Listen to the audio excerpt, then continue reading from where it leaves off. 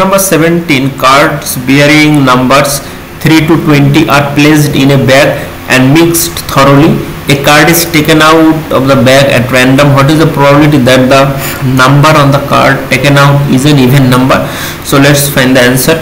So here total number of cards that is number uh, 3 to 20 uh, 3 4 6 up to 20 that is total number is 18 so here is total number of cards is 18 therefore the total outcomes will be uh, 18 and here uh, we have to find the probability that the number on the card is an even number.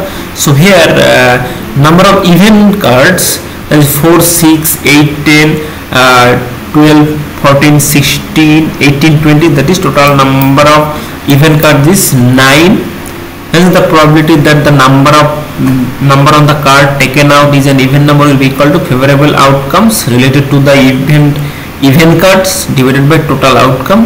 So here favorable outcomes related to the event uh, event cards is 9 and divided by total outcome 18 so if we divide 18 by 9 it will be 2 so it will be that is equal to 1 by 2 half. So the answer will be option b half. That is the probability that the number on the card taken out is an even number is half